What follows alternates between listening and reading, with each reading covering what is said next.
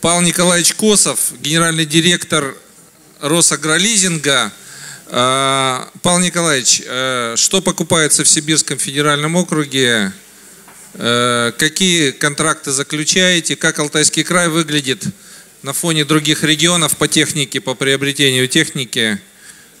Слушай, ну, наверное, начнем с последнего. Алтайский край у нас э, в лидерах по закупке техники. Если к цифрам переходить, то в прошлом году мы э, поставили сюда техники на миллиард сто пятьдесят миллионов. В этом году за неполные там, полгода мы уже в разной стадии поставки техники на 900 миллионов. То есть вот рост такой значительный, существенный и большой. С точки зрения номенклатуры, ну, не, не сильно отличается от э, картины по средней картинке по больнице да, по, по, по стране. Э, примерно 40%, 45% самоходная техника, тракторы, комбайны, все остальное прицепное, навесное, которое просто необходимо в разные сезоны для проведения разных видов работ.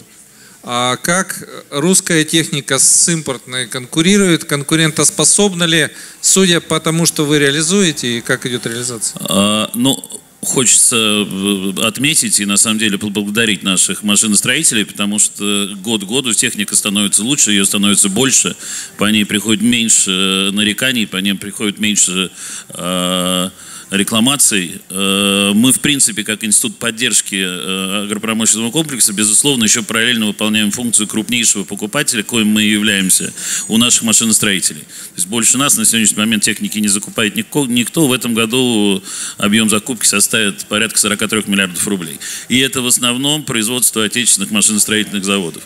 Э, в этом у нас, собственно, принцип использования наших денег. Есть, конечно, исключения. То есть если техника на территории Российской Федерации никем не производится, то мы можем на льготных же условиях э, привозить и передавать в лизинг на льготных условиях импорт. Вот. А с точки зрения качества и конкурентности абсолютно соответствует, э, даже зачастую лучше. Ну вот здесь вот Ростельмаш э, находится. Да, ну, да. Сложно на самом деле конкурировать и уже и импортным а, аналогом, нам так кажется. А наши, наши алтайские машиностроители, они работают с вами как да, с покупателем? Конечно. Здесь вижу даже замечательные лица местных алтайских машиностроителей, которые являются нашими поставщиками. Вот Велес вижу. А, вот. Девушки видим, да, да эту да, прекрасную да, девушку. Да, да. Да.